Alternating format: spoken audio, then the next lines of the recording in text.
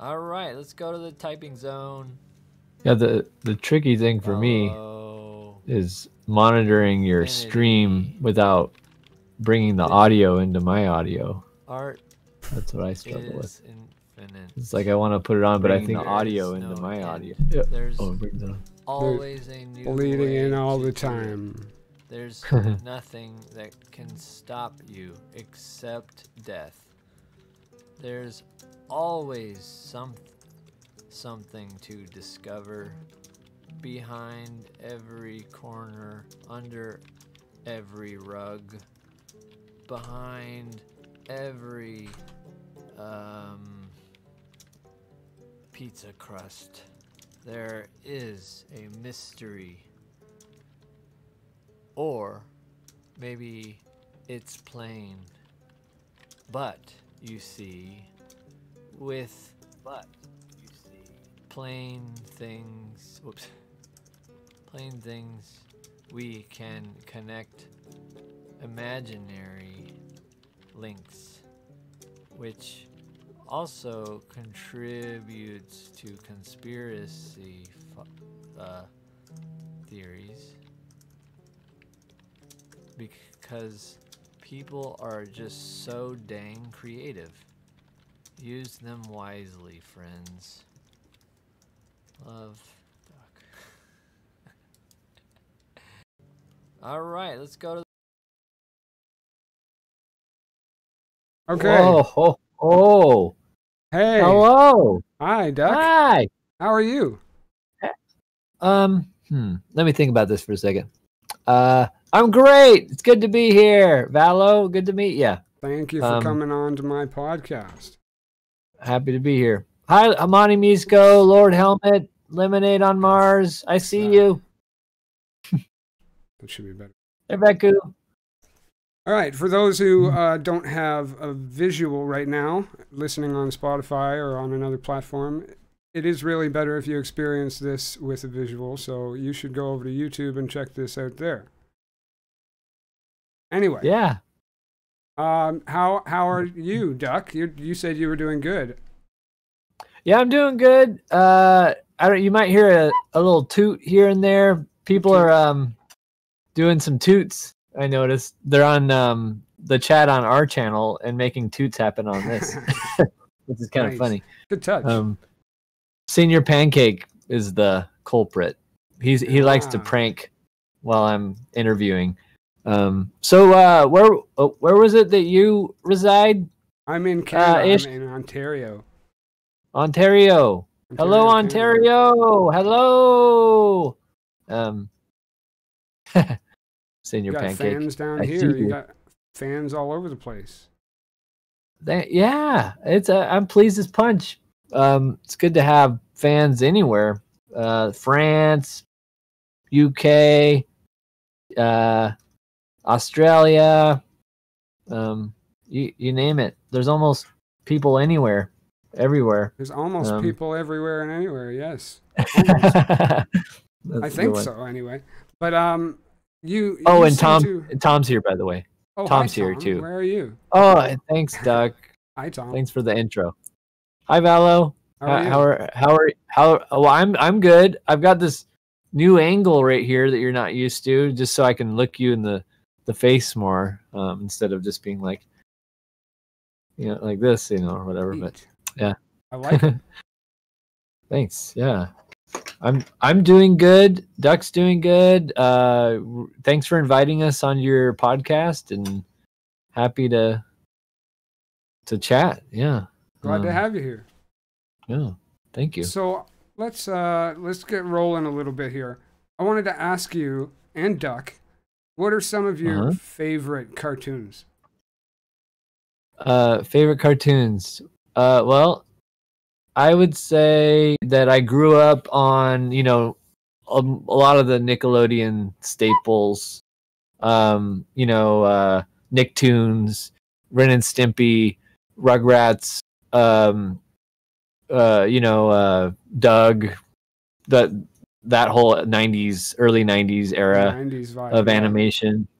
And then um, you know, there were some, you know, the like uh Looney Tunes and uh, just the regular cartoons you'd kind of on like random channels like uh, the um, we have this channel we had this channel USA and I remember they would show a bunch of cartoons like Mr. T cart the Mr. T cartoon. I don't know if you ever watched that show. Yeah, no, I've seen it. Um, and you know Thundercats and uh, what have you. Um, what else did I watch? Uh, Heathcliff, um, He Man. Actually, my parents w- weren't that cool with me watching He Man because, well, my mom thought it anything with magic in it kind of made her feel a little nervous because Yeah. uh, I grew up in a uh, like a Christian uh, uh, conservative household, but um, but um, I think they they they're cool with it now. But um,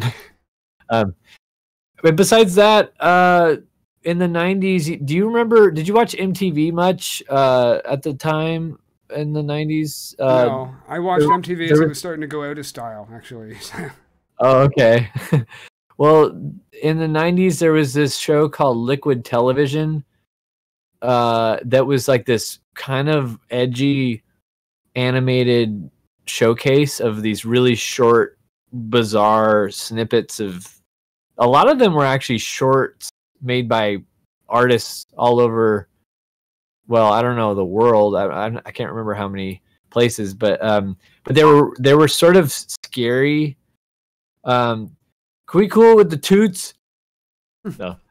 Oh, oh, I know why it's doing that. It's doing the toot every 30 seconds because if someone else doesn't say anything, here, um, not that it's distracting. it's it- it's not your fault, uh, people. It was that um, there's a bug in my code where if you do a toot and then no one says anything, it will keep tooting every 30 seconds so that's what was happening so it's it's fine just uh, but anyways um th- so liquid television was cool and scary uh but you know when you're a kid um when you see things it's so poignant and i remember seeing a lot of really eclectic and strange animated techniques on that show and that was also around the time of Beavis and Butthead, and Beavis and Butthead was uh, another show my parents wouldn't let me watch, but I would catch it at my friend's house that their parents were like more chill about what their kids watched and stuff.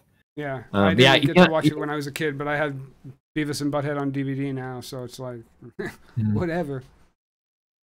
Yeah, I I loved Beavis and Butthead, but I liked the storytelling more than the music video parts. Um, Yeah. So I kind of got a little bored with the anim- the music video because I didn't usually use the, know know the music, so I was just kind of like, okay, I don't get the references here. But um, someone mentioned Aeon Flux in the com- comments, which is part of um, Liquid Television. It was just this really creepy, Oh, okay. really detailed animation of this lady. Like it begins with like a fly getting stuck In her in a, an eyelid. Yeah. Yeah, I remember that. Um, that was a series that, Yeah. as as MTV was still going out of style, was still playing on on there on reruns. So that's one I did watch. Yeah.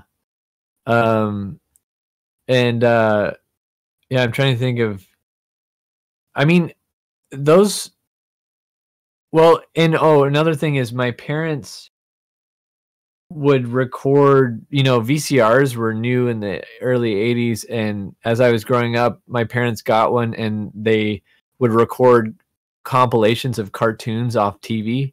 Mm. And um that was actually a big inspiration for me because my mom would, you know, make these like 4 to 6 hour tape mixes of like random stuff she found on TV. So there would be like these old Woody the Woodpeckers, Tom and Jerry, uh, Fleisch, old Fleischer animations, like w- Disney stuff, like silly symphony stuff, um, just random, kind of more bizarre. I don't even know who made it, kind of stuff. Um, but uh, and or Popeye the Sailor Man, you know, Oh yeah. and um, so I grew up watching those tapes over and over and over again, and those kind of drilled into me this weird animated mashup in my mind because like I loved that it would have like a commercial break that where they forgot to stop the tape and there would be like a bit of a commercial for like a coffee company or some random thing and and then it's this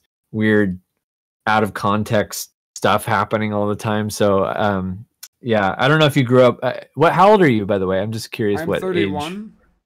31. So you're a little bit younger than me, but um, I'm 36, and uh, so VCRs might have been kind of on their way out when you were growing up. No, but, for the um, most part, we had like a lot of VHS tapes with like Oh, okay. and Woody Woodpecker and stuff on them. So when you Oh, good. bringing up those Yeah. memories, I was I was looking back fondly on those memories. So yeah, I'm familiar with like a lot of a lot of that stuff. Um, d- what about Duck? what- Do you have What any- about me? Yeah, My cartoons, my my cartoons, favorite cartoons. um, my favorite cartoons, um, would be uh, let's see here. Mm, I love Adventure Time. Adventure Time. Uh, and um, what else do I love? Uh, Miyazaki. I mean, that's not really cartoons; it's film, but it's great. Mm-hmm. And uh, it's like Spirited Away. That's one Uh, of my favorite animations. Yeah, uh, my my is it my neighbor Totoro? I can't remember if that's the title I or my not. neighbor Totoro is. Um, yeah. Um, what else do we got? Uh, and um, oh, I love um, uh, Da- David Lynch made the series called Dumbland. Um, and uh, not sure if you've heard of it. Um, I've heard of it, but but, it's I pretty- can't say I've ever watched it. it's it's very very strange it's not for kids uh it's really kind of like goofy funny like fart jokes but then someone's almost getting murdered kind of all of a sudden like like intense violence all of a sudden Hmm. um it's it's really weird and then there's like crazy crass gross language in some parts between characters and it's just like this weird bizarre presentation and and david lynch made like the whole thing himself like he animated it he did the sound and he's really good with sound so That's it's awesome. really poignant It's funny. Yeah, to me, like- though, thinking of Duck sitting on the couch eating popcorn, watching a David Lynch program. that, You know, where people are getting murdered. That's pretty funny. Um, well well I, the, people almost get murdered i don't think anyone actually gets killed on on dumbland but there's a, some violence um but yeah it sounds Uh, pretty cool. I'll have to check it out. yeah yeah, and uh and there's just uh what what else duck do you have anything else you want to say uh there's probably something else and i'm probably forgetting about it um david shrigley uh an animator or not animator an artist that we really like uh made a bunch of flash based animations like 10 years ago that were kind of hilarious Alright. Mm, They were just on the internet though. They weren't like on TV. Um but his humor is just hilarious Yeah. and and kind of crude, crudely drawn. Uh have you ever seen the Blur music video for a Good Song? Yeah, It's like I a- think I have. Yeah. A fairy falls in love with a squirrel but then accidentally kills him. it's kind of a little gross. Yeah, you're Like, bringing back some graphic- memories. I can't say I can I can bring it up, but I'm gonna look it up right after the interview. I'm gonna be like, Yeah, it's a good one. Yeah, and the leaf blower comes in and starts blowing the blood of the. Sorry, I don't want to give it away for people that haven't seen it, but it's pretty funny. uh, I mean, Um, it's probably a pretty old music video by now, but Yeah, it's creepy how much time's gone by. I think it came out in the mid aughts. So yeah, it's been like 15 years. That's crazy. Um, Yeah. I'm sad that there's like there's like a bunch of music videos that came out in the aughts that are they're online, but they're standard definition, so they're like really low res, and Yeah. it's just really sad to me that they ha- they were never made for higher res, but it's just the time, you know. Um, people weren't. Who knows if the source files even exist anymore? You know. Well, it's about Um, priority. I think I had a an old DVD of some old Paul, Paul McCartney footage, and they had revamped all of his stuff. And I mean, it's about priority. If it's a big name, if it's a big artist, then they'll keep that footage and they'll archive it. But if you're not a big artist, then they're not going to archive your footage, and then they don't have the original work to remaster in the future. Yeah. whatever. Maybe now they'll start taking that kind of thing into consideration, especially with cartoons, because I like going back and visiting older cartoons. I have a whole box set. You mentioned Thundercats earlier. I have a whole box set Mhm. of Thundercats, but it's so grainy, and I wish they could have done something to up the footage there, make it a, a bit better quality. Um, thank you for the follow, not Julia. and Senior Pancake and Monty Mesco. I don't know how I'm just noticing these. Thank you for the Yeah, I'm. I'm seeing it too. Well, hype, hype. Um, hi, not Julia. Hi, uh, we speak English good.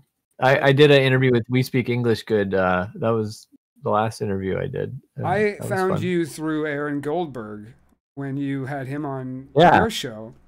And then through Aaron Goldberg, I found We Speak English Good. And then We Mhm. Speak English Good did a podcast with you. And then I said, well, I better get on that. So uh, I started Yeah. planning that out right around then. So awesome. that was, uh, I'm, I'm glad to have uh, found all these people through Twitch. I'm, I'm very grateful to start meeting these new people and uh, expanding my view on things. I'm pretty new to this Yeah. whole this whole scene, especially I haven't done art in a long time. Uh, you have a friend called Borb. He paints, right? Do you paint, Duck? Oh, oh. Uh, You do any work yourself? Duck? I I mean I like to draw. I'm I'm more of a drawer than a painter. Borb's the painting machine. Um, You do he's just a wizard. And poems. Yeah, poem for me I like the beginning. the very immediate mediums, drawing, uh, poetry, you know, that kind of stuff. Whatever I can just go. Shh.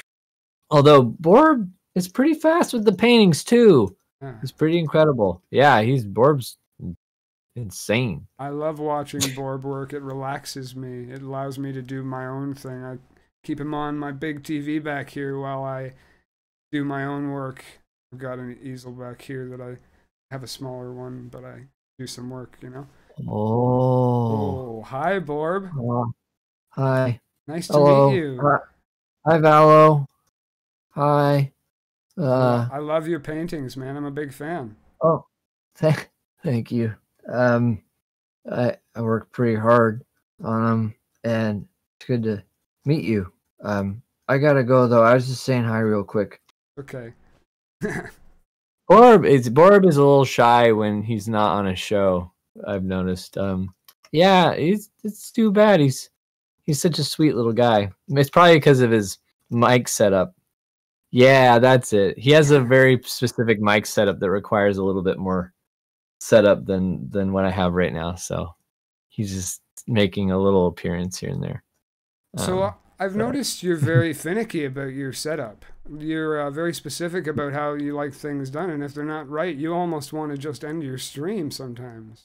Yeah, I'm a, a little bit of a perfectionist uh, for sure, and I think, but part of it's like a focus thing where if things are working, I'm in my mode or I'm getting into my mode of focus and complete like devotion to the moment, and because you know, as soon as you introduce fear into um, the dynamic, then it slows down all the thought process that I have. Eh, whoops. Um, that's a good fear sound. fear. Um, fear. Ah! Um, but when there's no fear, it's just like every all the machines are oiled and everything's moving, and then um, so that's why the poems flow and and I can draw and just come up with ideas. But as soon as like I start to worry about like or something doesn't sound quite right, like if I were to set my volume to like just a few ticks down from where it is, I'll be like, I can barely hear myself. I, I what's wrong? Like, and then I get really agitated because I feel like it's like I'm on stage and my my fly is undone to me. That's how it feels to me. Very Um, nervous moment, yeah. I can yeah, imagine but it- would be a it- it it, it doesn't matter to most people though. Um and that's something i'm still figuring out but I, it's part of just my brain i guess that i am highly sensitive to the conditions of what is being presented and you might not notice a difference of a problem but to me it's like a huge problem when it even though it might not be I can definitely And- relate on that fact because uh, lately I've been, you know, with just um, b- being accepted by people has been weird to me. Like this whole podcast thing, I've been receiving a lot of positive feedback. I'm not used to that.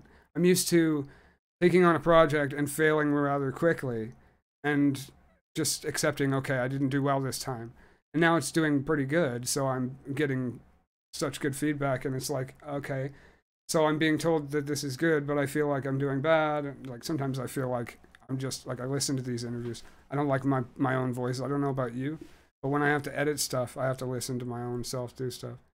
Guess you don't Well, really being- too much.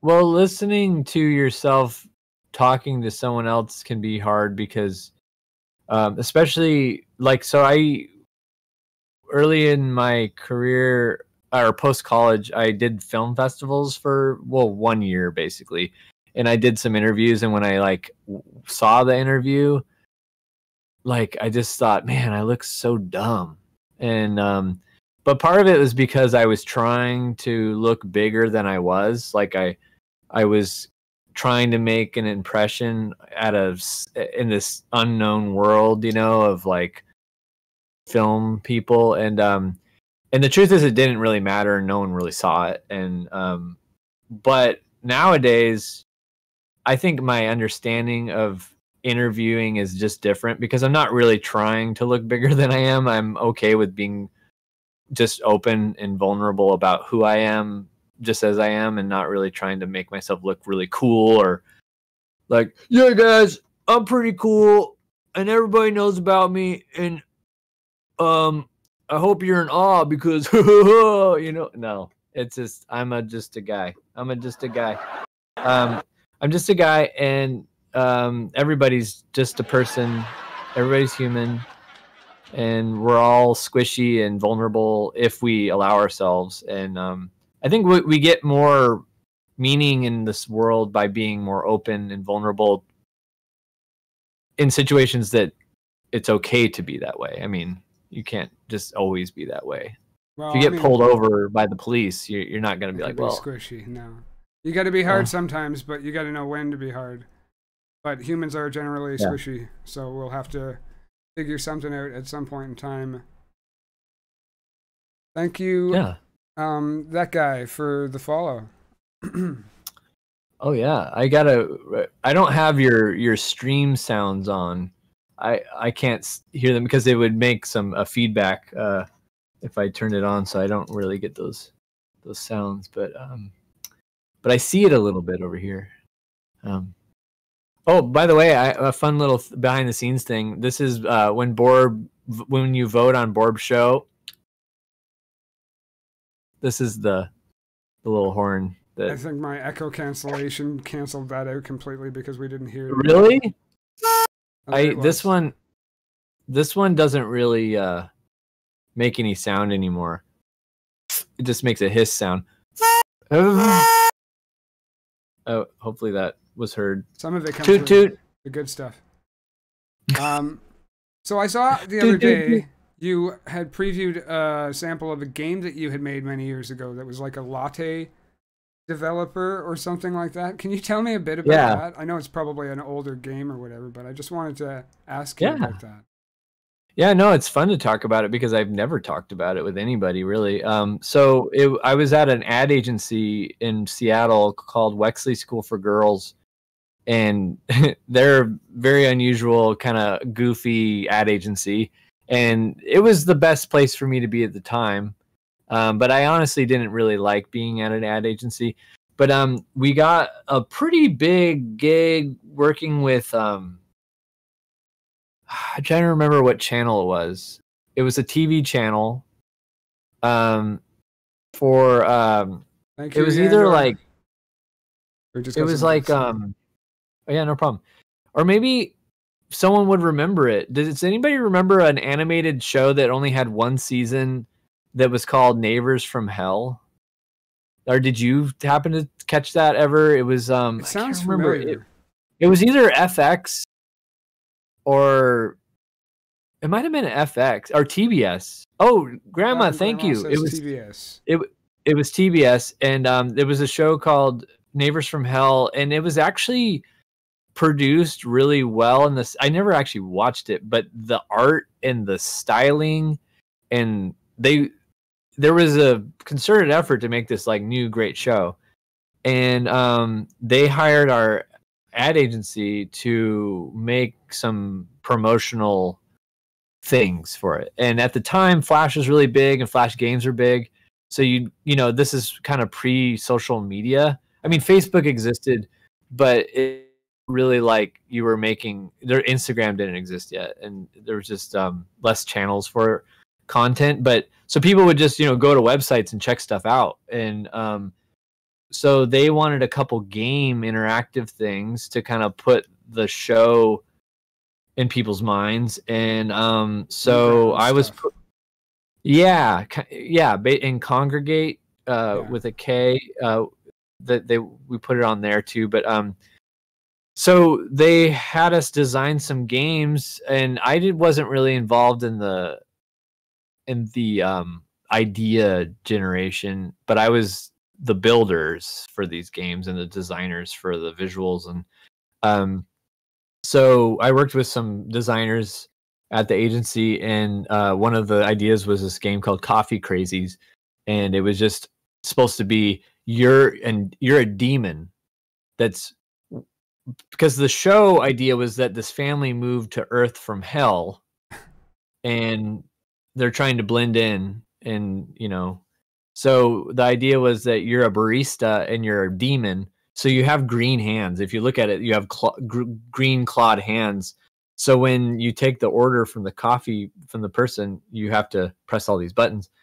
So um, it was nice because it was really fun because you know there's a, a bunch of really unique characters who that order coffee and all the we got talent from the office in house, just random people to do voices and but I didn't really I didn't write any of the humor, um, but I did put it all together and that was really fun. Um, but it's it's actually kind of a fun game, but I'm actually really horrible at it because I'm bad at remembering lists of Yeah. things of details. Did you Yeah. play it much? I didn't play that one specifically. I, I got to look it up still and find it. If you can send me the link over Yeah. Discord, I'm going to try it out because I used to play games like that all the time where you take like an order and make it. So it looks like something I'd Uh-huh. enjoy. Yeah, I'll, I'll send it to you. Um, let me see here. It's uh, um, yeah. Um, here we go. There. Um, so some of the stuff you've got integrated into your stream, like the the word generator and stuff like that, is that how you keep your ideas fresh? Uh, well, the phrase generator was actually so when I was first streaming early on, I made a bunch of devices to make it so no one watching didn't matter as much.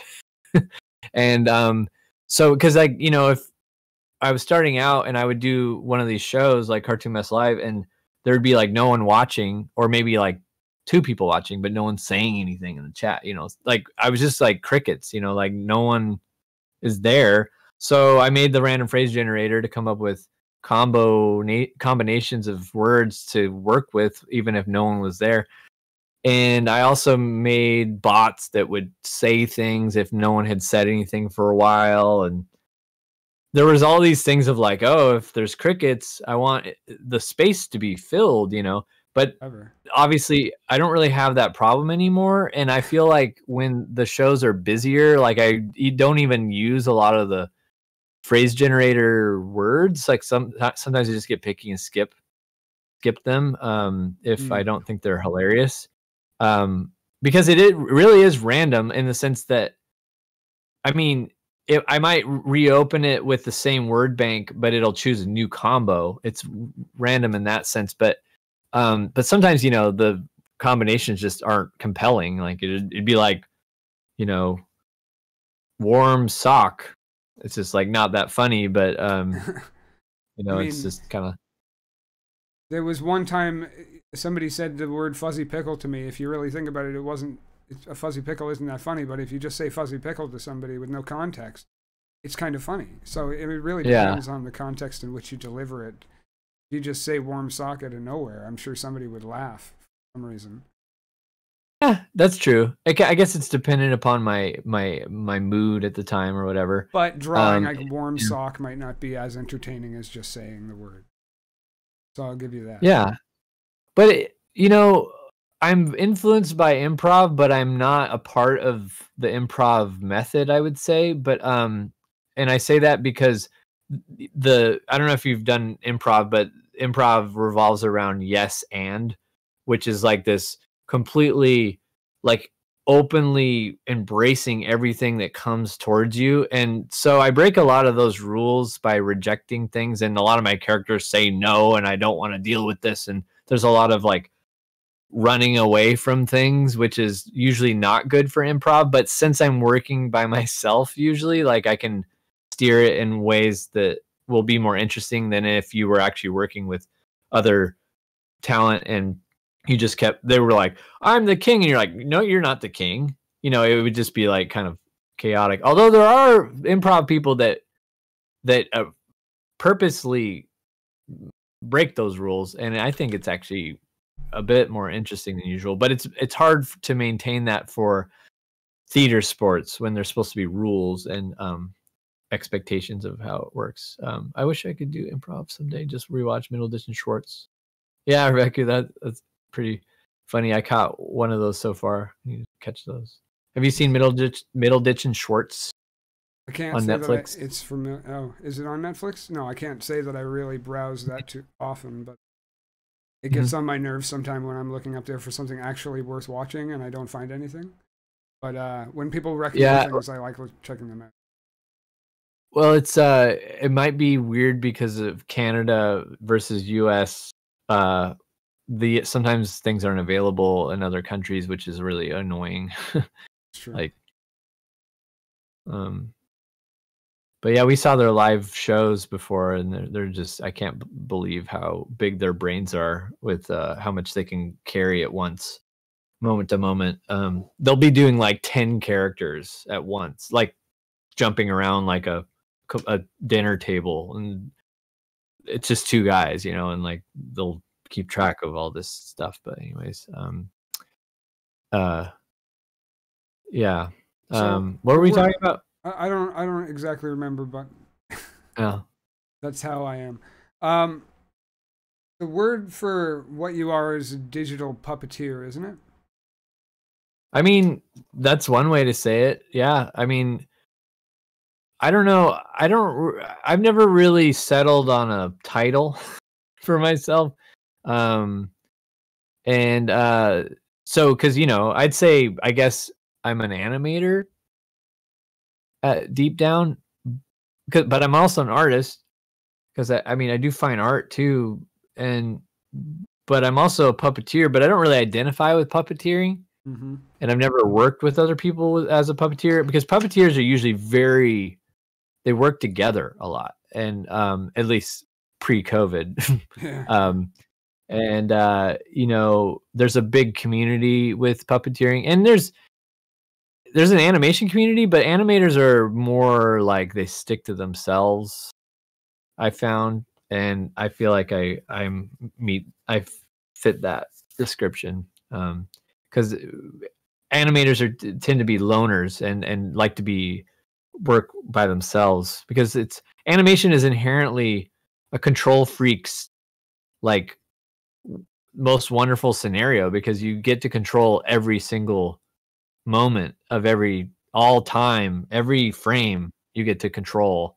And um with, but with filmmaking you have to have a camera and a crew or maybe lights places uh starting and stopping the camera. And it's uh it's tedious in its own way but um but it you need people i took film classes in college and it was very frustrating to me. I always got this really awful feeling when i knew i had to go down to the rental place to get the camera and the lights and i had to get people just to help me get the gear to a place so that we could shoot a video.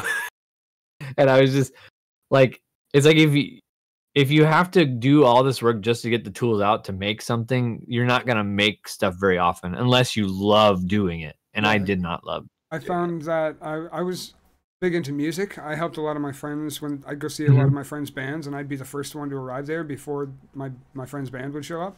And I'd be like, all right, I'm so stoked to see your band. So I'd help them load their gear up like a flight of 25 stairs.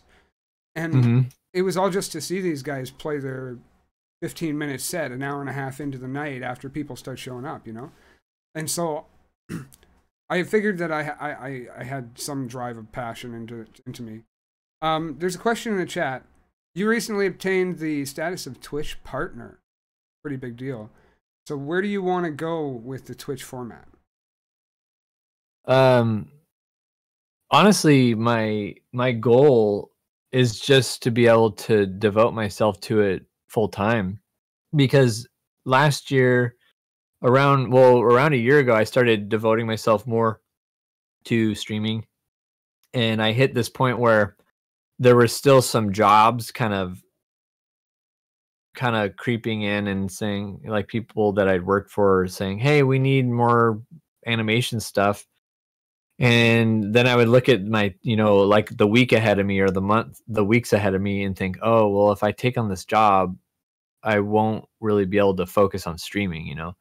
And um, so my goal, my recent goal was just to be able to make enough money with streaming to justify not taking jobs anymore so that I can devote myself to making these creative streams happen and make them more creative and keep adding to them. And I kind of juggled jobs back and forth till last September. And then September I uh I kind of decided to say no to things unless they were smaller and a really good fit, you know. And so right now I have a pretty high bar for saying yes to a job. Um, and uh, so it's it's um it's so I'm kind of doing what I want right now, but I would say the money isn't there yet. Like I'm making enough that it isn't just me pretending and never getting anywhere. Like I am making a decent amount of money, but it's you know like half what my wife makes basically you know like so um i would love to be making the same thing she makes but um but it's just uh it's enough for me to devote myself knowing that it will increase you know and um so and it's not about the money at all but i just can't be a guy playing around and not making a living because my wife works full time and it's kind of insulting to just just make art and play all the time without it being actually an income, you know? So um, that's caused some tension here and there before, but um, but she believes she she she believes in what I'm doing and and supports me and was the first investor in Cartoon Mess Live because she she but she, she loves her job. She's a designer and um, does uh, lo- loves what she does. Thank too, God and is for the women in our lives, or we'd be Yes. nowhere without them. I swear, you know. My my wife basically built my entire studio for me, so Wow. praise them. Um, And so and what's your uh your vocation? well, as far as like what I do for a living, I just podcast and I do art. I don't really have an income source right now. Neither does my wife, but we live with my father, so uh, we're we're we're kind of on tough strides right now with my kids. Uh, my one of my Oh, you got has- kids. Wow. I have two kids. One of them actually has a disability, so it's a bit Oh, of okay. a struggle. Uh, he's in a wheelchair. Mm. I would say sixty percent of the time he can still walk, but uh, he's got um, a hereditary disease called muscular dystrophy. So Oh yeah, yeah. we deal with that a little Sorry. bit. Thank you. Um, Yeah. but as far as uh, I mean, I'm I'm basically How, how old are they artist. again? My oldest is ten. He, he's the one with the wheelchair, and my youngest is uh, he's eight. I had to think about that for a second Huh. because it was past March, so his birthday recently passed. So, um, but yeah, so it's it's it's it's fun to hang out with them, and they really sort of inspire me as far as like because I get to watch a lot of cartoons with them and be silly and still have that like sort of imagination that I you know I never really lost that spark. So it's good to have now that I have kids. I'm not gonna. I feel like I'm not gonna lose that. I, it's gonna be there for me for a while. So, because Yeah. driving to have like youth to look at, you know, like that playfulness and if you if you lose that in your own life while you're growing up, I feel that's what sort of makes you bitter and you're "Eh, I don't want to these kids make me salty or something like. But if you can maintain that youthfulness and that spark of joy and like I'm very curious. I'm a very curious person. If I find something I don't know about, I'm like, "Ooh, what's this?" And I've always maintained Mhm. that sort of like a glimmer in my eye or whatever you want to call it. That when I see something Curiosity, new, yeah. it's, it's so having kids that while I still maintain that youthfulness, I think is what's going to keep me from dimming out in creativity. But what keeps you going for like creativity? Where do you like draw your inspiration from and like where did duck come from? Uh, duck, cover your ears. I don't have ears. Um, that's right. You don't have ears. That's funny. um um uh so uh i'm apologize i apologize if like i uh space out a little bit on this um it's hard for me to think of uh like when people ask like what artists i like it's so hard for me to think of lists but let me think about this um so what keeps me going um i would say one thing that is a little unusual about me as far as I don't actually watch a lot of animation these days and I don't really actually look at that much art and I don't really look at stuff that much. And um partly because I'm impatient and I like creating so much that I just want to create and like sometimes getting me to even watch a movie can be hard. But um but I would say that what keeps me going is um, aside from having an awesome marriage with my wife and having my best friend around me all the time, which is like the foundational, amazing part of life uh, for me.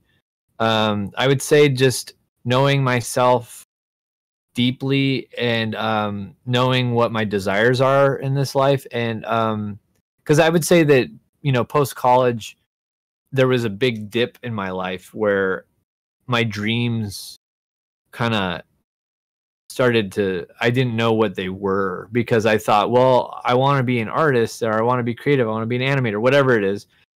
College set me up for like feeling pretty confident about my skills mm-hmm.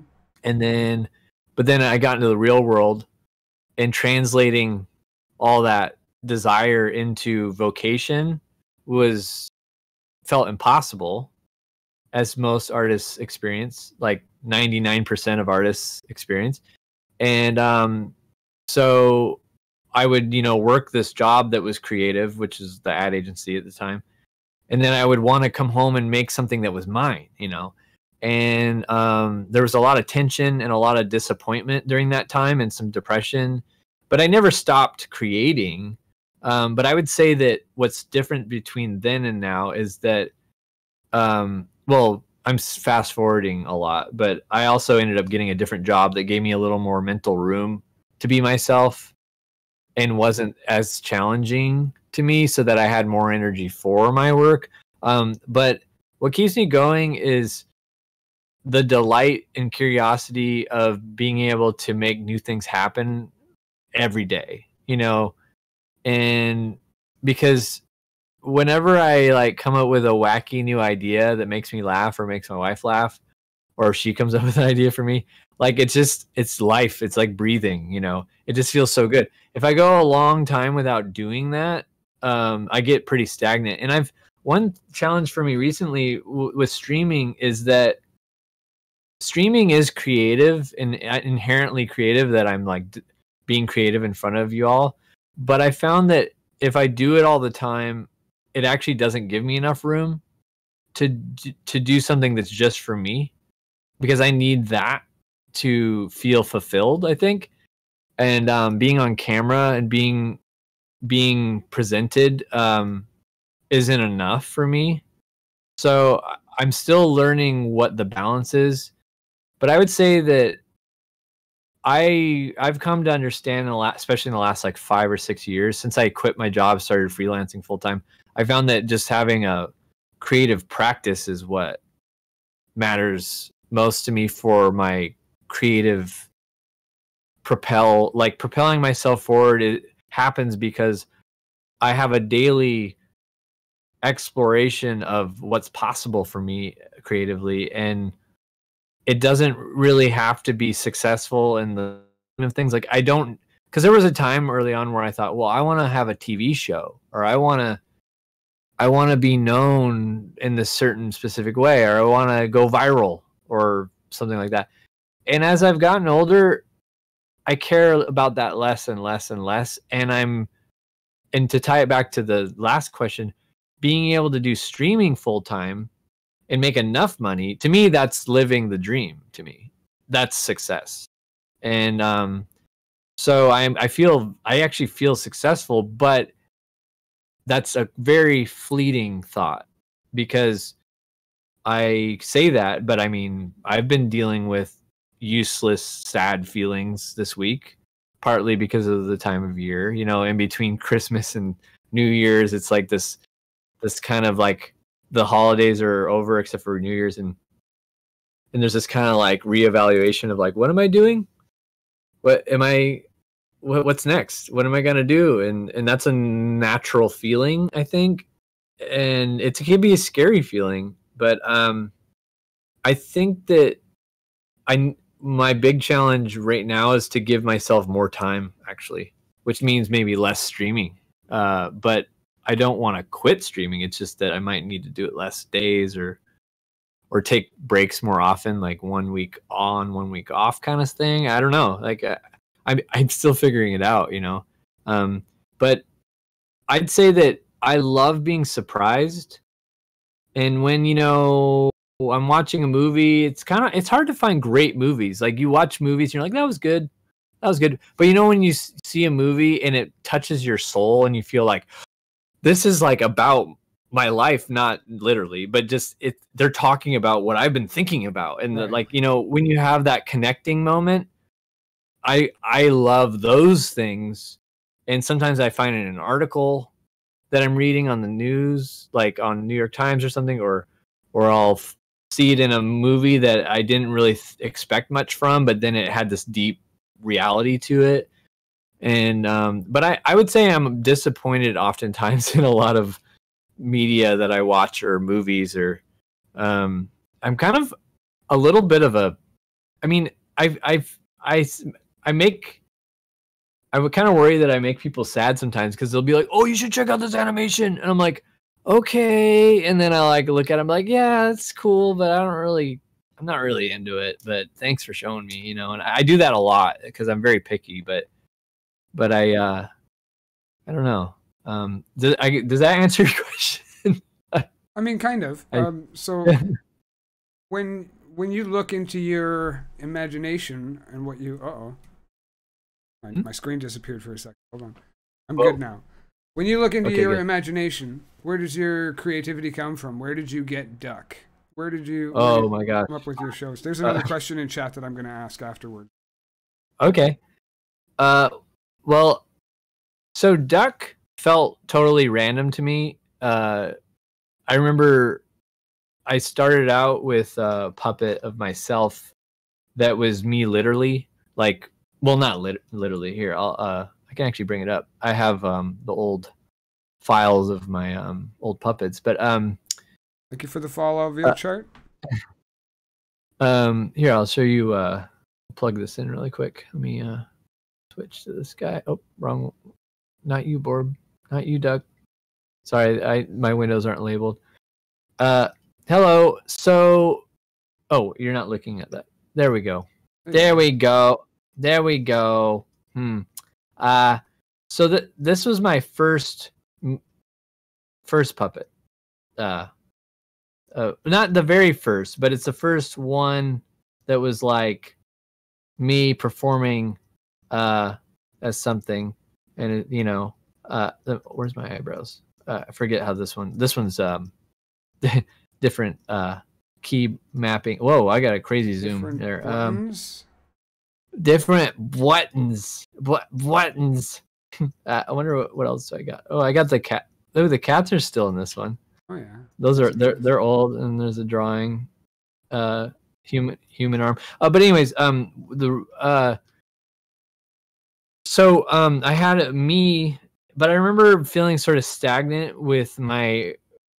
It, it felt a little too recursive. Like I was just, it was an animation of me being me Hmm. and I thought I want to have like a goofy character, but the irony is that Duck is still me. D- Duck is just still me. Yeah, I was gonna say. but but I I started drawing him. Just I just drew. I I think I drew like two drawings of a duck character because I thought a duck would be fun to have like a big beak. I thought a big mouth would be fun. You know, something that wasn't uh, phonetically driven like this. You know, I mean, it still kind of is because he's got O mouth and an ah mouth and stuff, but it was kind of more like, oh, that would be fun to have a big flapping thing, you know. Um, and so I think I I drew him really fast, kind of non-committal, just trying it out, you know. And then it stuck, and um, it's funny because I showed some people. I started streaming on Facebook at first because my friends were there, so I would do like live streams on on there. And I remember um, talking to a friend of mine I grew up with, and she was like, "Oh my god, I remember Duck." And I was like, "What do you mean you remember Duck?" And she was like, "In third grade, you like would draw this duck for." I remember we were like laughing at it so hard, and you like drew it for everyone in the class. And I'm like, I have no memory of d- this other duck. Um, but she was like, "You can you can't remember that? How can you not remember that?" I'm like, "I don't know." But um, so apparently I've I've been drawing ducks for a while, but I didn't remember that I did. And I think he's sort of deep in my subconscious or something.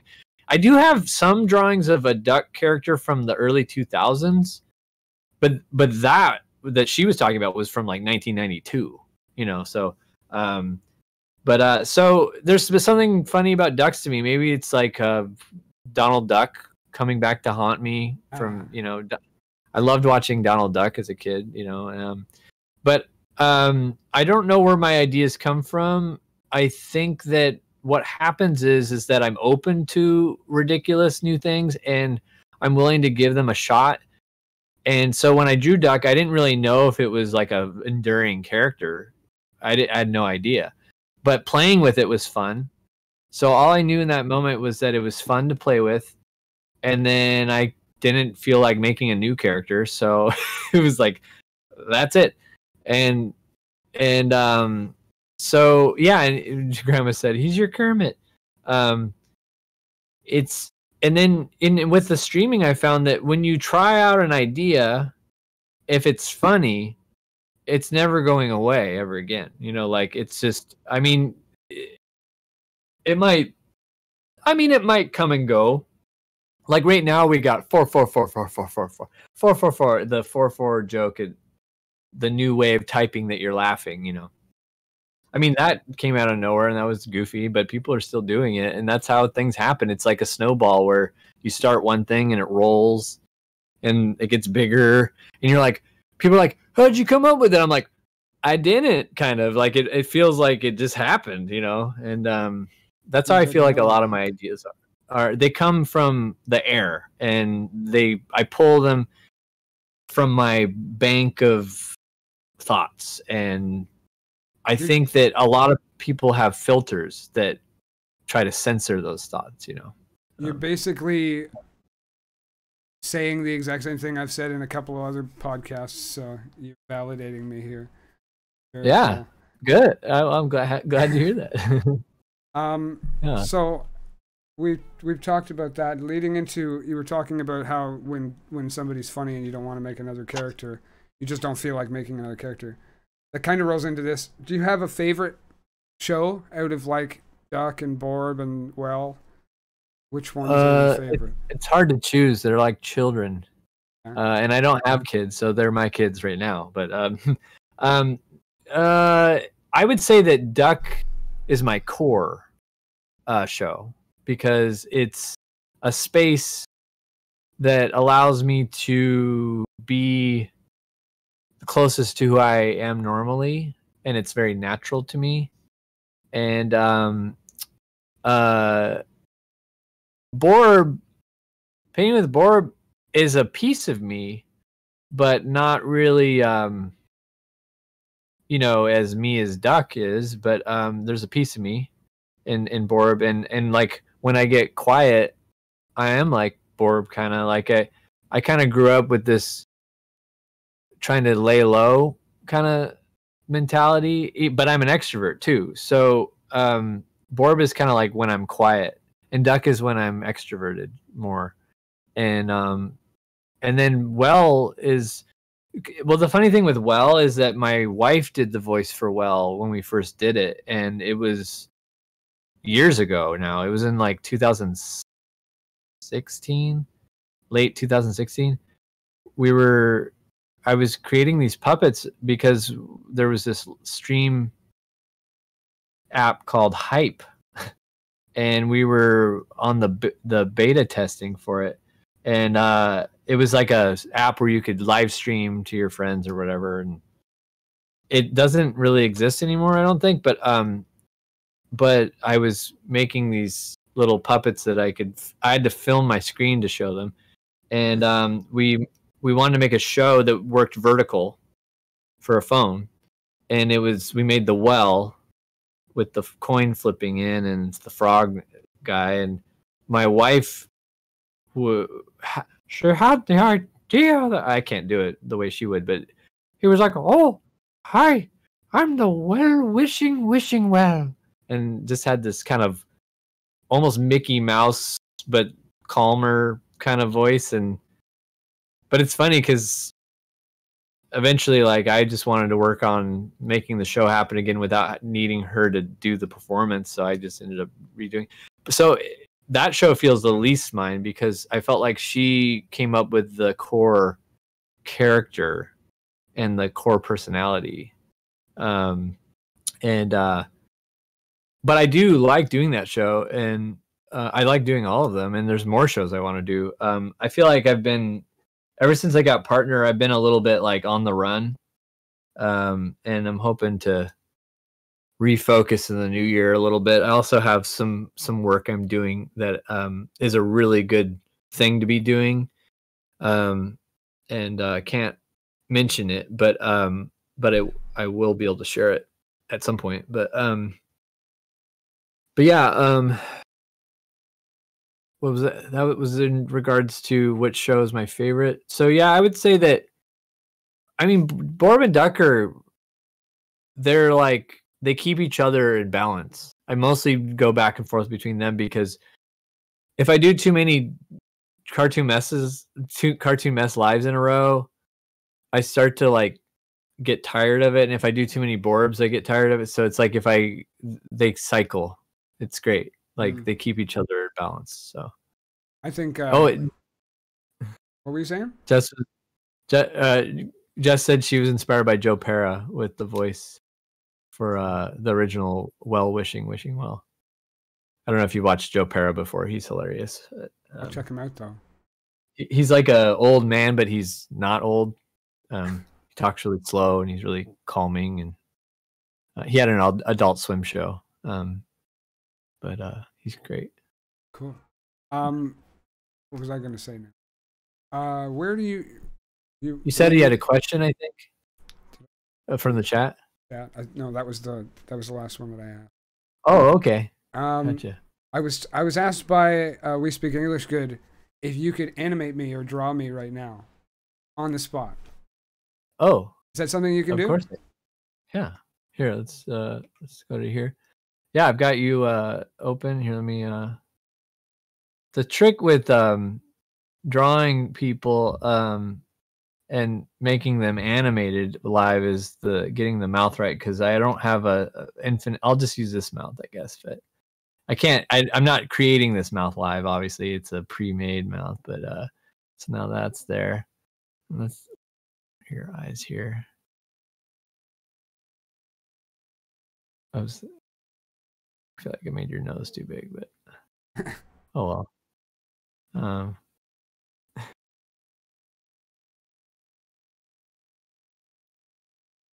I like I prefer Borb's painting tool when drawing people, but um well I made your nose very big, but oh well. Um Uh, let me get your. That's right. I look like Ringo.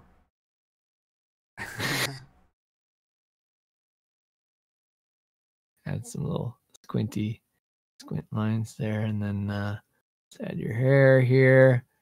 Maybe put your headphones.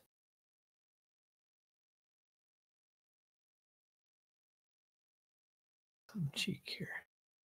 Oh i'm whoa i made that way out there. There i should bring that in there.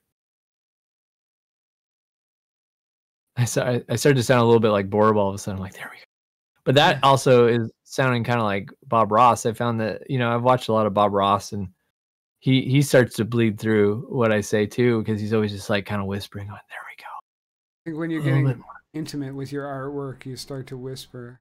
At least I do when I'm like, Yeah. "Ah." Yeah, so so constant. uh so concentrating so hard. Um uh let me thicken this mustache a little bit here. And then uh make this a little darker. And then uh fill these. You got hair coming down here. And then uh, I'll just go and then uh all right when it, when i say go just start talking i'll i'll try to puppet you okay Okay. go Hi, I'm Steve. I'm Valo Infinity. I have a show on Twitch. It's called The Artist Eye. I have Tom Thinks on my podcast right now. You should check it out. Ta-da! Ta-da! Ta-da! It's a pretty good drawing though. I like it. yeah you did great Yeah. or i mean tom you you drew valo great oh thank you thank you very much Hey, there I am. Thank you, thank you. No, it's not gonna mesh up properly. yeah there might be a little delay delay oh no Just a little delay ah You're, um you look fine though. You don't Chi- look delayed. Oh, chips are on if someone wants to feed me a chip um senior pancake this is your chance You can go to You wanna- Tom's channel and throw a Dorito chip in the chat. or a Dorito. Yeah. Then your your name will appear too. Let's see how long it takes. it. Oh, Ireku did it. My phone's not loading anyway. I think the name might be cropped, unfortunately, but that's okay. Um, but thank you, Ireku. Thanks for the chip. That's So an interesting yummy. feature you have on there. Is that just like a script that you have running? Um, well, this whole thing's a script. Duck, you shouldn't be talking about that. Um, no, uh, I mean the, the Duck's whole world is scripted. Uh, there's code with uh, triggering mouths and paying attention to you know what's happening and when and stuff. So, and there's animations and um, the so that I have animations of chips flying, and basically I have a bot you know that listens to the Twitch chat. And when a chip is thrown, it sends a variable to my animation document that listens to see if there's a recent chip emote.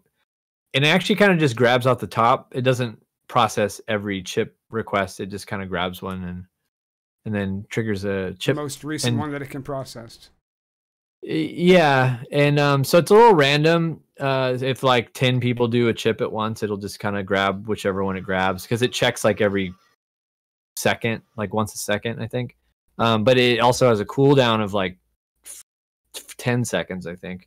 Um, so getting your chip in, you know, so if you're the only one doing it, it you you have a good chance of it. But um, it's kind of hard to explain without going into detail but i mean it's like i use javascript and json uh, uh, process or files uh, to uh, send data to my animation file which is in built in flash and um, yeah so i mean it's it's just kind of my flash document has a bunch of pre-made animations in it and it's just basically hooking them up to uh, events that happen you know in the chat or or by key presses and stuff like that you know Well, I Um, feel like anything that's Ah. like um anything that's like creative like that, it's all um like scripts and stuff like that. There's there's sort of like artwork in the same way that like duck is artwork. You know, it's it's just a couple lines on a white background, but if you've Mhm. got those lines making numbers and stuff that doesn't make sense to anybody but who understands it. You know, you Mhm. understand the script, and then it doesn't need to make sense to anybody else. You know. Yeah. Well, it's like Legos. I mean, it's like the scripts Yeah. language is blocks, you know, and uh, you put the blocks together in a way that serves your need, and then um, it doesn't matter whether people know exactly how you built it. They just see the end product and they go, "Oh, well, that's cool. I Mhm. didn't know you could build. I didn't know you could build a ship with blocks. You know, like that kind of thing. You know, it's just kind of if you got the instructions, you could build one yourself. You know, so it's just kind of it's just a matter of arranging just i mean that's the core artistic experience is arranging things and space and um so yeah i think programming is just another piece of creative creativity uh, it is very syntactic uh it has very strict rules um and it has limits to processing power but um but it, it's uh I enjoy it. Uh, I'm I'm self-taught with code. I, I just did tutorials in the early 2000s and had a lot of time to learn and learned a bunch of stuff and um, never stopped. It's quite fun to play with code. Um, I think it's important to keep learning stuff. If, if coding is like, I, I'm a little bit of a dabbler in many things that I've taken on. Mhm. Like I used to, like I was mentioning earlier, I used to paint a long time ago. Haven't really taken it up again until more recently, and I've been having fun doing it. I wouldn't say I'm necessarily great at it, but I've been having a lot of fun. So it, I think that's what it's about, you know, just doing it. For Oh, yeah. relaxation. I- yeah, if it feeds you, yeah, if it feeds you, that's magical. And uh, like, you know, I'd say there was, there's been times in my life where I've been very preoccupied with progress in the sense of getting stuff done, like, which made me vulnerable to.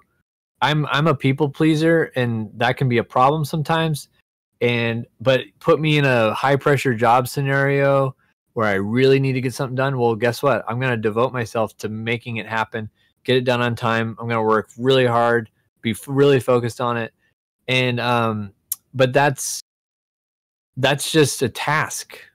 You know, it's like a good boy task of like I'm really scared of this not getting done and Mm. getting it done. It isn't really inspired the way that like my streams are like because my streams i i put my streams off. Like i'll sometimes not work on them when i should and i'll, I'll be lazy and i'll eat lunch and then just be like you should get down and shouldn't you be getting ready for your show? I'm like yeah and then i'll get down sure enough i'm 10 minutes late for streaming it at the time i like to stream at and but I, but i'm I feel like I'm always doing at, like at least what I need to be doing to get by, you know. And um I, I'm not a taskmaster about what I'm doing unless I'm doing some kind of big push like on Halloween.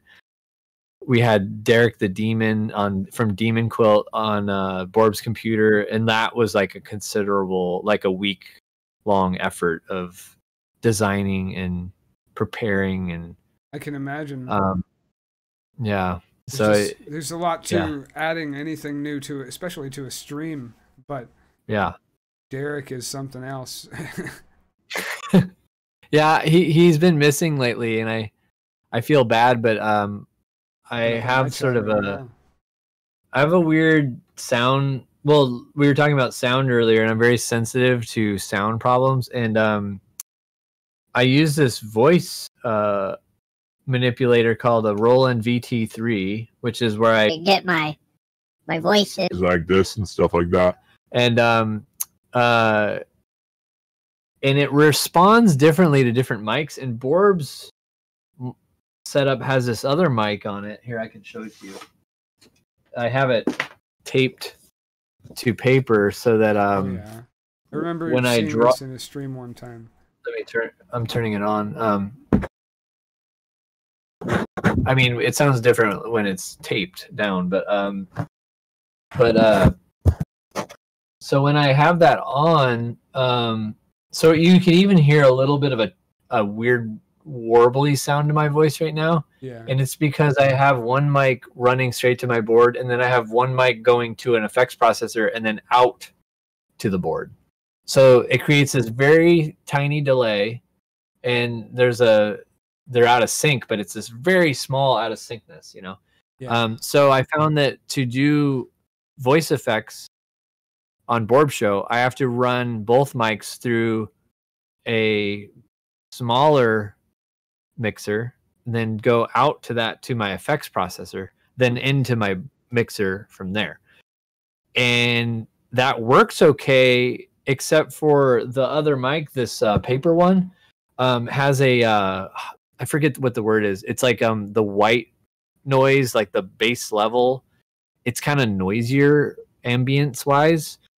And when I have it, when I have both signals going into my effects processor, it's kind of designed for a single and it kind of messes it up and it i have to there's a mic sense that does an auto leveling and i kind of have to turn that all the way down and then turn the whole thing up and sound gets a little weird and then it messes with borb sound and then when it messes with borb sound i can't handle it so i did all this stuff so that i could have derek on the show but every time i have him on the show i feel all stressed out like sounds borb sounds different because if borb sounds different i'm just like if I want to make it even more elaborate, I can have it so I can run it through, run everything through the voice effects processor, but then also have it direct somehow. I don't know. I need to talk to a sound genius. Yeah. Um, I wish I had one of yeah. those, a sound genius. but we all, if we could all have a sound genius just in our closet somewhere. Hey, Mike, But- you gonna be here on Friday?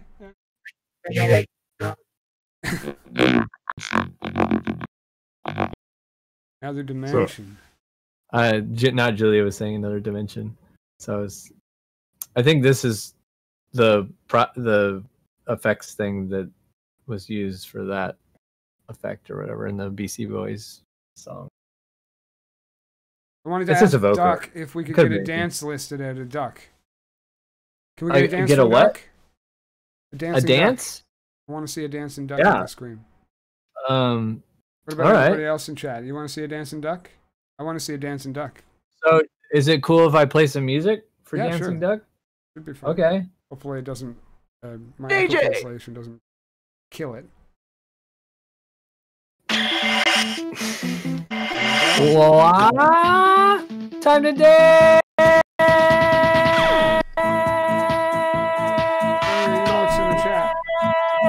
Ooh, I'm on Valo Show and I'm dancing for you. We're dancing so hard, you know it's true. Yeah. Uh huh. Working up a thirst. Yeah, of course. So drinking ghost beer? so. What's that? A Is ghost a beer. ghost beer?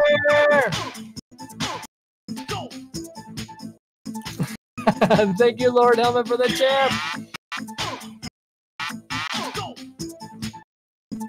Oh, ah, bam, boom, boom, boom, boom, bam. Yeah. Yeah. Love those laser beams. Crazy. Yeah. Thank you, Duck, for dancing on my show. And thank you, Tom, for being here. You're welcome. Yeah, no problem. D- Duck loves to dance. Um, yeah. Did, were were there any other questions? I can't remember. I'm sorry. I'm kind Were of there any at- more questions for uh, Tom in chat? Anybody got any questions for Tom before we head off?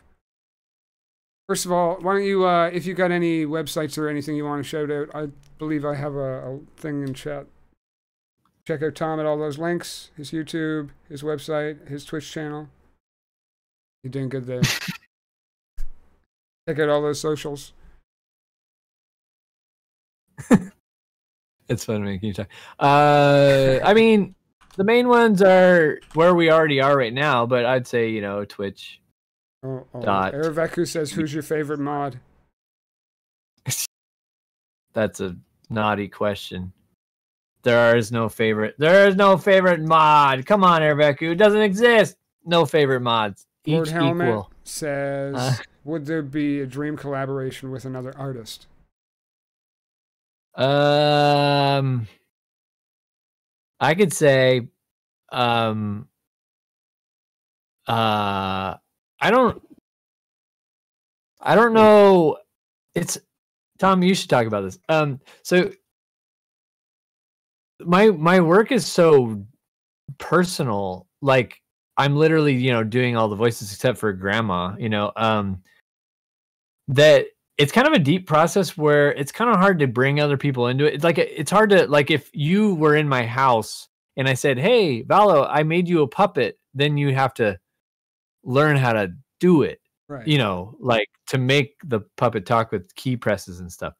And most people aren't really ready and prepared to do that. So the the the thought of like a getting uh, some like famous collaborator to commit to doing that seems unlikely to me and it would more like be like having them be, be a guest on the show maybe or something like that um i mean there are artists i admire and i would you know there are people that have inspired me greatly and like you know um Marc Maron is a huge inspiration to me because he interviews people he's been doing that for a very long time on wtf pod and you know the idea of like ha- being able to have bigger celebrities like be a guest on my show, which actually would be very stressful for me. Um, because like doing the shows for me is pretty fun, but whenever I bring someone in, it's pretty stressful. Like I get pretty hot and like I'm trying to like listen to them, but also pull all these chords and push these buttons and do all make all these things happen.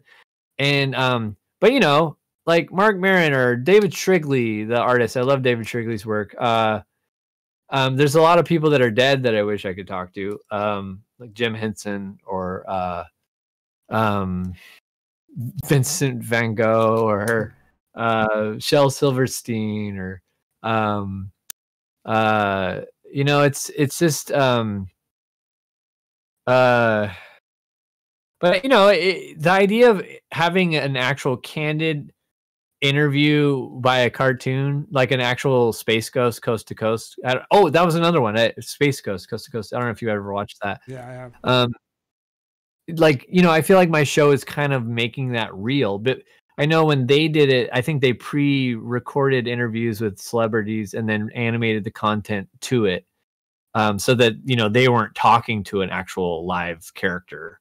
Um, they were kind of pretending to um but now i have the ability to actually do that and but i'm unknown i mean you you were like oh well known i'm like i'm not really well known i'm not like i i i'm getting a following on twitch which is great and i'm a partner now which is cool but when you tell people what i do and they haven't seen it they don't know what the hell you're talking about and they Well, don't care. that's care True, but that's the same with any Twitch streamer or anybody who's doing Right. this like video games for a living.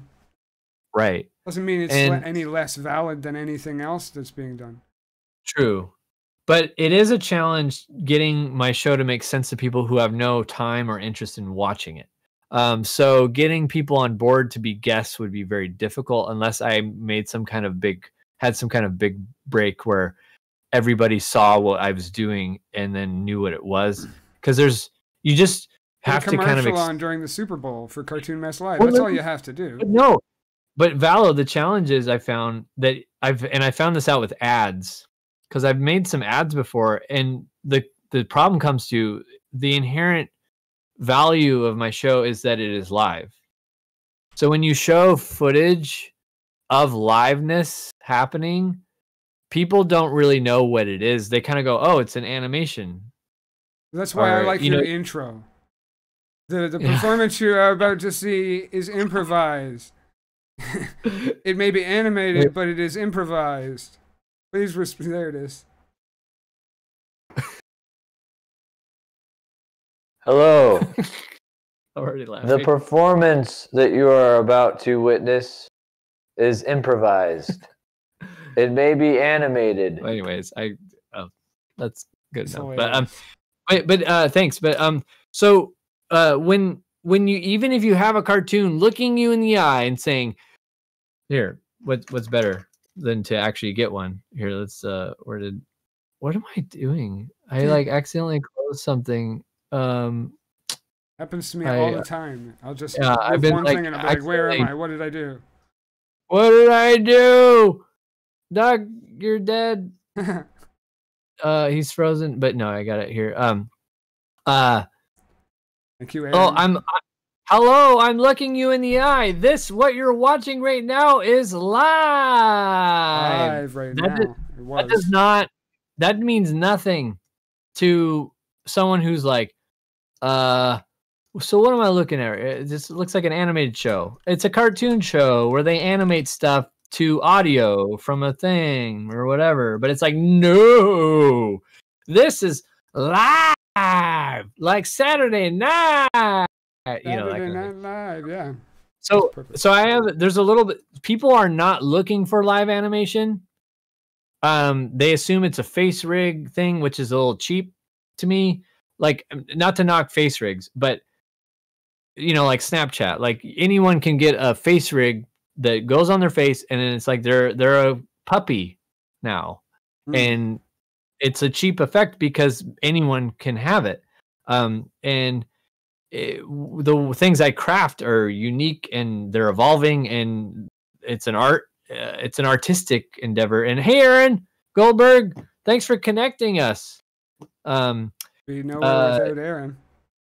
so uh, my I guess my point is that I the mystery of what I'm doing keeps it small. Um and I'm realizing that I don't care and I like that. Um and I'm fine with slow growth. Because if like I said my goal is to be able to devote myself to it hmm and because if if if it just wasn't catching on and i couldn't make a buck at all i wouldn't be able to devote myself to it because i'd have to do jobs make money but i'm making enough money that i'm okay to make less money and do what i love i'm that's a trade for me that i'm okay with doing because i feel like if i commit to it it will grow. Um and for right now like if justin bieber was like hey guys. Hey fam. Check out tom thinks on twitch. He's he's amazing. And then like a million people showed up. Do you know how horrible that would feel? That, that would suck. It was i mean like it really would. When I when I was uh, when I first started streaming, I was doing Twitch as like a gamer, and I, I got raided one time with like a party of like 35 people, and it was like my first week in streaming. I didn't know Uh-huh. what to do. I just I Yeah. deer in headlight deer in headlights is exactly what I was gonna say. I I do that often. I'm like, like just stand there. Like I end up in that like that in photos. So it's just it was Yeah. just overwhelming. And what do I do with 35 people? They're all gonna leave in a second. I'm not entertaining enough for them. You know. yeah and i mean it, I, I don't know if have you ever seen like the streams on twitch where there's like 30,000 people watching or 100,000 people watching and i mean eh, I wouldn't wish that on anyone. I mean, there might be some good things that come with it financially or support wise or whatever, but to me, one of the beauties that keeps me like loving what I'm doing, even when I have periods of not innovating in it, because like innovation keeps me interested, but also the community keeps me interested and my mods keep me interested. And being able to recognize names in the chat and cultivate memory of people and having a community, that's like a huge part of it that I mean makes it totally unique than like making slaving away on an animation for a year and then releasing like a short animation that tells a story that I'm excited to, and then hoping people like it. When I'm doing something live and I get to see Aaron Goldberg and Monty Misko and in you, Valo, uh, and I get to see you again, and I see your your. I mean, the subs are great, and I'm I'm thrilled that people want to support me. But having the running jokes and the the callbacks and the funny things that happen and like seeing me do a baby name that was a repeat for the first time like that was a huge moment and Pompney was there! And maybe you were there and it was a big deal and then we came with four four four four four four four and then it's like all these things are being developed and um, i feel like um, i'm growing in a way that feels so good that like i don't want to i don't uh, the, the biggest interruption has been uh Kitboga rating me with, you know, three to five thousand people here and there. And you know, those dwindle quickly down to about a thousand ish. And but I found that cultivating the community that you you want to have like kindness and consideration if you can do that even with a thousand people that's like a huge huge relief. And i found that there have been times where Kitboga rated and then there's a thousand people watching and i'm having a ball and there's people asking questions. They're like how does this work? And this is amazing. And i'm like well you're here and i love that i can see that a new person is here and i can see their comment and i can say hi.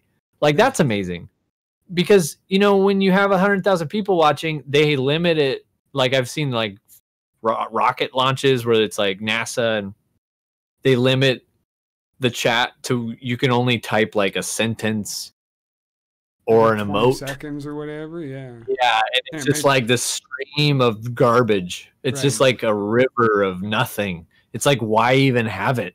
Um, and so my my hope is to grow with my audience, and they'll grow with me, and we can have fun for a long time, and not have just this tsunami of randos. You know, um, I think that when Kitboga raids us, it's it's great. It's a good challenge. But you know, like having the life changing growth of like thousands and thousands and thousands of people watching, like that's not really something I'm pining for. I'm looking for connection and fun and creativity because that's what keeps me connected to it. Because I found that even with like doing Borb lately has been a little challenging because I found that I'm not looking at the comments as much and I'm missing a lot of comments and I feel really sad about that. But I know that it's humanly impossible for me to keep track of it all. Yeah. But that's where the mods really help. Thank you guys. um, they they nudge me with comments that stick out that they want me to see, and they're my eyes a lot of the time. And um, but I love. I refuse to turn on followers only or let alone subs only because I like it that even if there's a lot of people watching, I love that a random person can come in that has a genuine question that can say, "Hey, what is what is this?" And I I I love it when people ask that. Like I'm not like, "Oh, well, we've gone over this a million times. How how dare you ask that?" You know, it's or don't don't bother me with such simple things. I mean, what really pisses me off is just when people don't care and they come in and they post garbage and they don't care and and they're just wasting everyone's time and they're wasting their own and get some kind of cheap weird laugh out of it. But um Yeah. why is it wiggly? why is it wiggly? Yeah, people ask it. Why is your art wiggling, Borb? Um, it's magic. Magic. But Magic art Um, from the magic. What was it? Magic poncho that he wears or whatever. What is it? Poncho or is it? A, his shirt, yeah, it's Shirt. just that he found it at a thrift store. Um gives him the magic. but uh i'm reading some of the comments here um oh thanks Valo for I said thank you your kindness is immeasurable all alerts are muted for the integrity of the interview but i appreciate oh you're saying that to the audience i see that's my favorite thing about twitch being able to see some the same people almost every time is so cool i'm always there except when i'm not yeah, I see. sorry just catch the slow growth is is perfect because it allows you time to get to know the people, right? And I think that's amazing, building a community like that. And like if you can slowly get to know everybody, then that's the best way to do it. I mean, I wouldn't be comfortable with a hundred thousand people rating in here either. So Yeah, I've been trying to figure out what what really happens when the noise is too great, you know, and subs only might be part of the solution, but like I mean, I would hope that the the the trend I'm finding with my the people that follow what I do is that there are plenty of people that like to lurk. Hmm, and and that's totally cool. And because they find the the process the show's relaxing and they like just kind of observing it. And so there's a fair amount of people that will always be kind of quiet when they watch and that's totally fine and i like that and then there's people that really like to engage and to say jokes and and um pr- push the content forward and affect it. And there are people that do that really well and then there's people that want to do it but don't do it well but they're sometimes they're children sometimes they're just immature. Um, i try to work with people but i can't catch every comment but um, but i like keeping it open instead of just upping the exclusivity till it's like subs only chat you can only say something if you pay Yeah. you know or something I'm only going to Um, respond if you're a member of my Patreon. Yeah, but I mean I, that to me sounds really sad, but I mean, so I'm a big oh as far as inspiration, Jack Stauber, big inspiration. Uh, I'm I'm a- thrilled at his success and how big he's blown up, and but I've seen his audience. He's he's huge, you know. He's so huge, and there becomes there comes with it this crappiness when you're that big and people steal your stuff and people just steal your stuff literally like he had his music stolen oh wait i don't know if i should mention that i don't know if that was something he wanted broadcasted but um uh i support him on his patreon and uh i've been doing it for a few years now but um but he you know he's had crap happen because people were being crappy to him and um and having that level of of audience watching you is um it's uh it's it's kind of like you know more money more problems you know It's Yeah. like uh it's just like you, you might think you want fame and money and i found that the things i want are art driven and i want to be able to support myself but i don't need a lot of money. Like i'm okay with enough money. Because i spent the last couple of years leading up to now working really hard and making money and being very dissatisfied you know? And um, i made i made a lot of money. That it's like it it was going up i was making more money but i was then my wife couldn't sleep anymore. And i was really like burned out.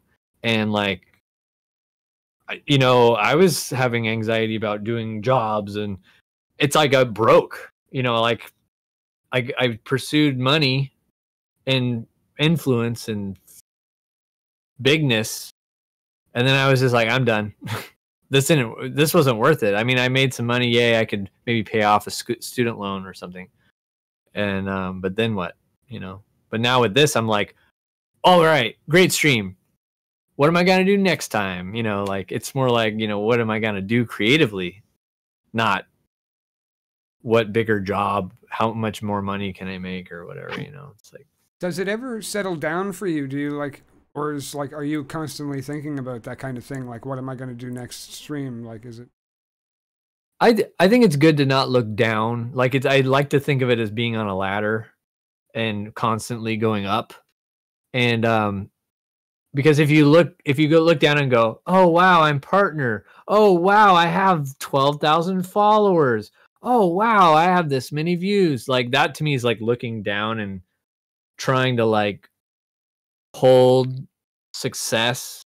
But I think that it's good to like just look at the next rung and go, I'm gonna do another show. And then the next rung is just a show. Hmm. It's just streaming. It's not doing a better show because that would be too hard, honestly. I think I just have to look forward and go, I'm going to stream again. And then when I do it, who knows what's going to happen? It might be one where I'm tired and have to kind of pull back a little bit and just hang out with people. And then people love that. Yeah. I mean, to me, I feel like I'm giving up, you know? Yeah, one Um, one thing I've really learned is that having expectations of anything is like pretty much the root to unhappiness. If you have expectations, Yeah. there are always going to be something not meeting your expectations, and if you have those expectations, you're not going to be happy. So, Yeah. Huh. just don't have expectations of how the way things are going to go, and maybe you'll be happy with it. Well, it's delicate. It's a delicate balance, I think, because it's like having no expectations is kind of impossible. Um, because it's kind of like saying don't. It's like if you're preoccupied with something, you're like just don't think about it. But you're by saying don't think about it, you think about it, and it's like. So I found that you just have to focus on checking the box of like, if I do it, I win. you know, uh, if I do it, I'm successful and rewriting success in your brain. And, but in, in truth,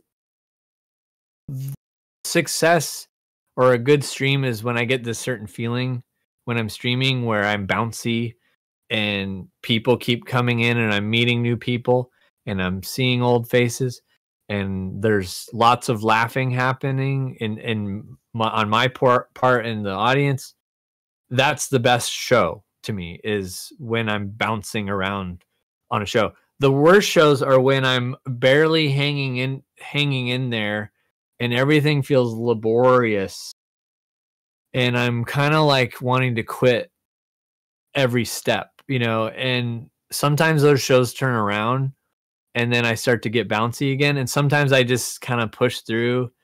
Maybe I'm a little hungover. Maybe there's some kind of reason I'm lacking energy or I just ate or some kind of thing.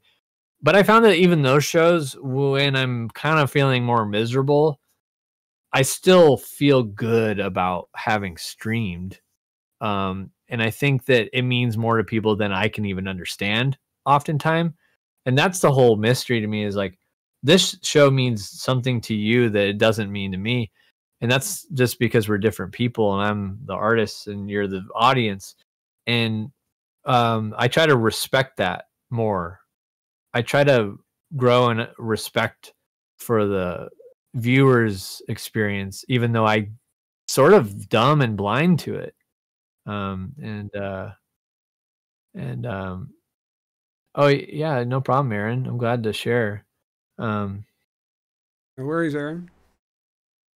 I'm a, I'm fi- I find it hard to write something logical in English. Sometimes I'm afraid it comes out rude or something. Not Julia. You're in good company. I'm I'm not you've never written anything where I'm just like, what's your problem? What's that not Julia's problem? Like say what you think. Fine. We'll we'll figure it out. Yeah. Um which is a place Um, usually I've found of understanding, unless it's a really salty community.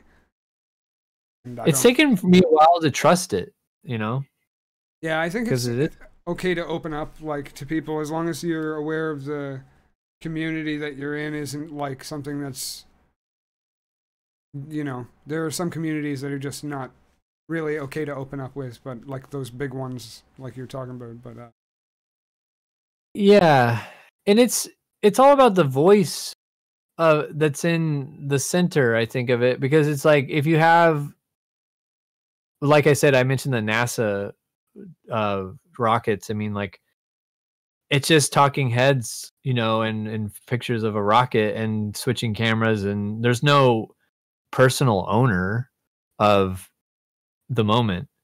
And people that are watching it are excited about the event and the action that's happening. But you know you get a dj doing a set. There's going to be people enjoying the music. There's no conversation really but they're enjoying it. There's going to be a lot of weird jibber jabber.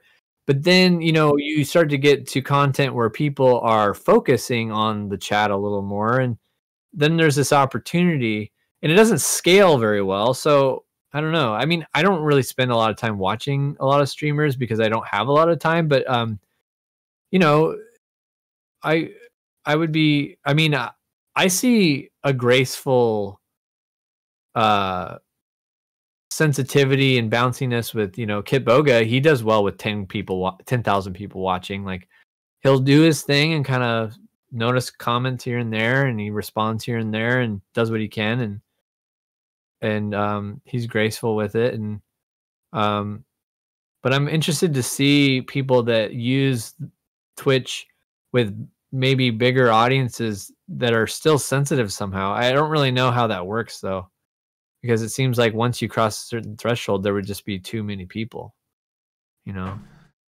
Yeah, for sure. I mean, when I got uncomfortable back in my gaming days, I would sort of just stop talking until people left. And then I was more comfortable talking again, you know? I just, uh, I don't know. I was never really looking for like partnership. I was never really looking to get money out of Twitch. It was, I was just doing it Yeah. because I was spending my afternoons gaming anyway, and I was feeling like I wasn't Yeah. being productive enough. So, but then I went from gaming to podcasting because of not just COVID, but I felt like I wasn't getting enough out of like I wanted to converse in my gaming streams, but I didn't want to converse with six people at once in Mm. a chat about multiple different things. It takes tremendous energy to keep bouncing around reading. I'm, and I don't think I'm actually very good at reading. Uh, I think I might have a partial dyslexia kind of thing because I, I, uh, I struggle with scripts and reading, trying to follow stuff. I do suffer Um, from dyslexia just very mildly, but uh, I have an issue with Yeah. it too. So Yeah. Um, like we've been doing Borb's, uh, Borb's um stroke count. It's so I need to f- automate that. it's so stressful to me. The mods have been helping figure it out, but like, man, it's so hard to comb through the things and be like, all right, who got the closest yeah, um to the stroke stroke count? But that, you said something funny about like trying to like what kind of tamp down your audience a little bit. That's kind of a funny idea of like like if there were 10,000 people watching and it was just annoying, how could I get people to leave? You know, like maybe I just switch to some kind of boring thing on purpose and everybody knows that it's to try to get people to lose interest. That would be funny. yeah. Yeah. Yeah.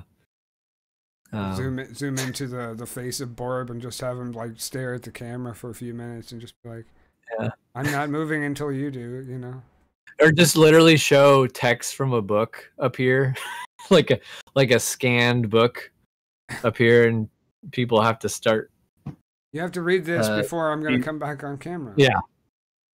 yeah i'll wait till uh, the average reading time is done for these two pages and then we'll we'll resume sega dean said andy Kaufman did that that's awesome uh, yeah Kaufman was great i mean such a mysterious and cre- creative person I didn't explore Wish, uh, Kaufman until after Jim Carrey did that Man on the Moon. Yeah, well, same here. I mean, I didn't really know much about him. Yeah, yeah, fascinating person. Yeah. Strange, en- enigmatic. Um, he read a whole book on stage once. Yeah, it's awesome. I I don't have the. I've always been a person that's been. It's been hard for me to let punchlines happen. Like if I even learned a joke, or like playing a prank on someone, I've never been able to really be like, you know, I I lost my job today. I'd be kind of just kidding. I, I didn't. It's just a joke. I, I, I the next part I was gonna say that blah blah blah blah. Isn't that funny? Is it's a funny joke, right? You know, but I can't really let it sit if I'm just like you know, pranking people. Like I've never been. I I don't have the Kaufman. I can't just pretend that I'm not affected by people being like, "Oh my god," Right. uh, like that. It it makes me feel horrible. Um, Aaron said that's the hardest thing about Magic. Yeah, I don't like that I new game uh, Among Us because it's too deceitful. I wouldn't play that with any of my friends, but I would play it with strangers only because it's Yeah. I don't want any deceit between me and my friends. Yeah. I don't want to be a liar. I don't care what it's yeah. about. I'm. My wife would attest. I'm a horrible liar too, Aaron. Like I've tried to like. I don't I'm pull just pranks too- on people for that reason, Sam. I too. I'm too obvious if I'm really trying, and I feel horrible doing it. Um, I I I part of my stream it, this my stream works because I it's easy for me to be genuine. So I'm just like I just go. Try not to I kind of feel like I'm getting further and further into being unaware that I'm doing streams when I do streams. like it's when I do Borb, sometimes I'm like, holy crap, I'm streaming right now. Oh yeah, almost forgot. You know. Like if I cover up everything and I've got something I'm looking for some information on something and I'm talking to you, sometimes I'll forget that I'm streaming. I'm just like thinking that I'm looking for something and I'll go back to oh shit, I'm streaming. Oh. Right. But it's it's always Yeah. good fun though, like just to come back to it and whether whether or not you have a big audience or a small audience, it's always fun to come back to it and realize it. There's people talking to me over here. Yeah. There's there's people behind those those Names. pieces of text. The names. and the people. Aaron, what's up?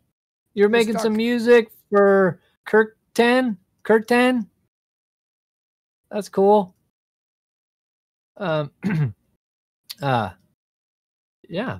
Yeah. Uh, It's been great Yeah. having you, Tom. I should let Yeah. you go because I think I got to put my kids to bed soon. Okay. Um, all right. Well, yeah, it was great talking with you, Val. I'll Nice be meeting you. around your streams and uh, we'll have lots of fun again sometime.